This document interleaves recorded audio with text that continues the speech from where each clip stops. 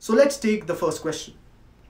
Tayyab Ali from Bihar, India, but is living in Kyrgyzstan, he asks, is there any use of the knowledge that we acquire in this world in the akhirah?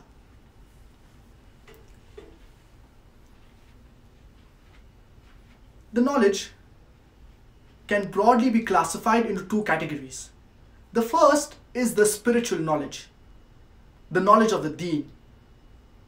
In this, there is some part of it that is compulsory for you to gain. For example, how to offer salah, regarding fasting, regarding giving zakah. So you need to know this knowledge regarding the ibadat, regarding worshipping Allah subhanahu wa ta'ala. The second category is the worldly knowledge. The worldly knowledge can broadly be classified into three more categories.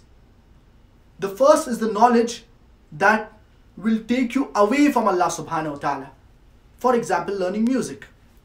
This knowledge, it is prohibited for you to learn because it will take you away from the deen. It will take you away from Allah subhanahu wa ta'ala.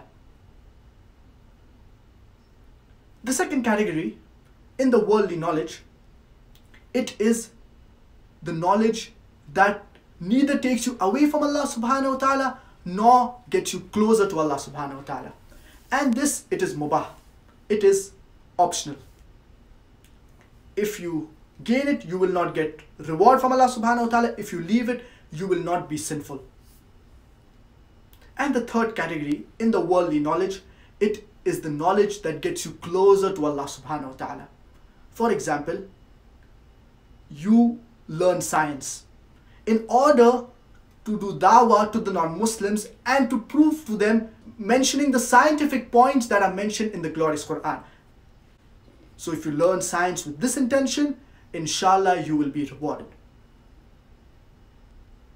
So the spiritual knowledge, it will help you in the akhirah. The worldly knowledge. If it takes you away from Allah subhanahu wa ta'ala, it will not help you in the akhirah.